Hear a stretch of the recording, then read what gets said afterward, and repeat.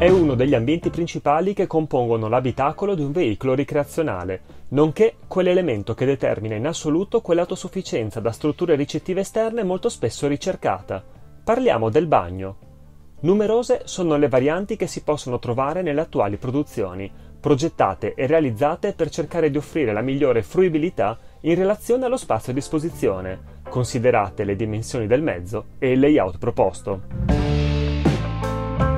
Oggigiorno una delle conformazioni sempre più diffuse è quella della toilette organizzata in due locali completamente indipendenti e collocati uno di fronte all'altro, generalmente con la possibilità di creare un ambiente passante per massimizzarne l'utilizzo.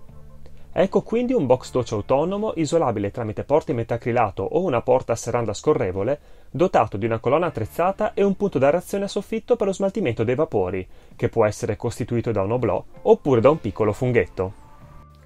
Lungo la fiancata opposta si sviluppa invece il locale bagno, generalmente arredato completamente in legno, al cui interno trovano posto il WC, il mobile lavabo e gli armadietti destinati allo stivaggio, mentre la sua aerazione è affidata a un oblò tetto oppure a una piccola finestra apribile a compasso o ancora ad entrambi.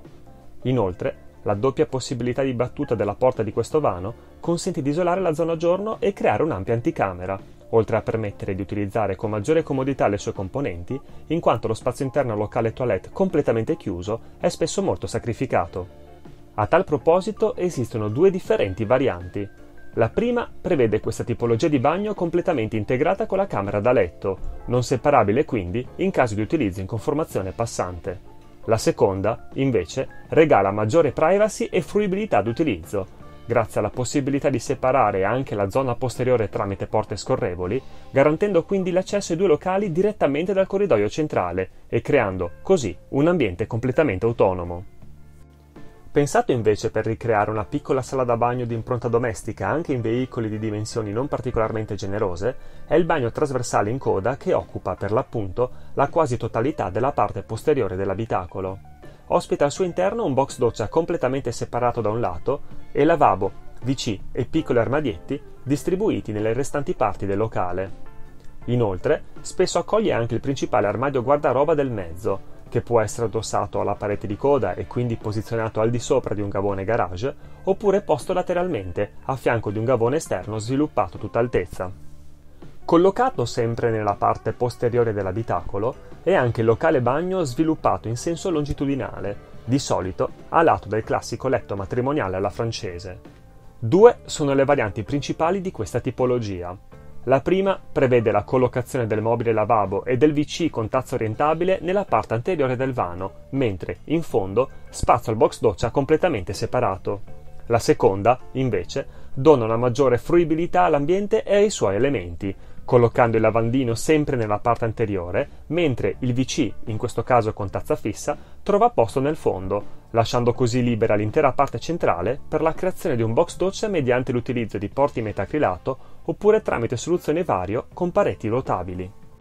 Ma non solo, esiste anche un'ulteriore elaborazione di questa tipologia di bagno di derivazione caravanistica, che colloca il mobile lavabo e i relativi armadietti pensati per lo stivaggio esternamente al vano, che, a sua volta, racchiude al suo interno il WC e la doccia. Restando sempre in tema di toilette sviluppate in un ambiente unico, ecco una delle più diffuse da sempre sui veicoli ricreazionali, quella cioè collocata nel mezzo dell'abitacolo. Numerose sono anche in questo caso le varianti adottate dai produttori, si passa infatti da soluzioni più generose con box doccia completamente separato che occupa una porzione del vano, ad altre invece con doccia separabile mediante l'ausilio di porte metacrilato di vario genere, così da aumentare lo spazio a disposizione in ambienti più costretti.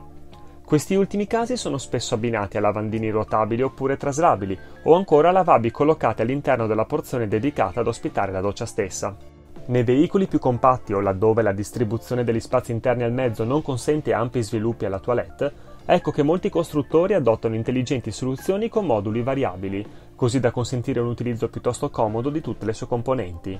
Soluzioni che contano quindi sulla presenza di una parete rotabile incernierata dove viene ancorato il mobile lavabo e la relativa specchiera, che, con la sua rotazione, consente la creazione di un box doccia separato, generalmente dotato di erogatore e colonna attrezzata dedicati. Non mancano poi locali bagno che contano sulla presenza di alcuni elementi a scomparsa per ottimizzare al meglio gli spazi interni disponibili e i movimenti degli occupanti.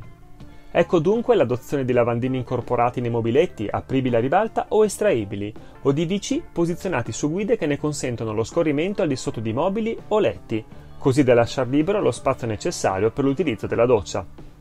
Infine, ecco la soluzione per eccellenza che richiama un vero e proprio bagno casalingo, e per questo destinata a veicoli di prestigio e dalle dimensioni particolarmente generose. Identificata con l'appellativo Raumbad, occupa un'ampia porzione dell'abitacolo e, per la sua collocazione tra la zona giorno e quella notte, assume anche connotati di anticamera o dressing room.